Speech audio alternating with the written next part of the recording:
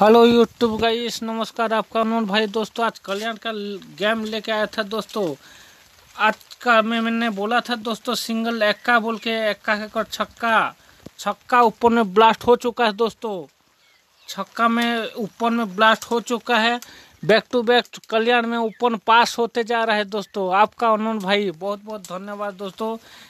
जिन्होंने अपना ओपन में जो प्ले किए हैं उनको मैं बहुत बहुत धन्यवाद बोलूँगा। आपका हनुमान भाई नमस्कार।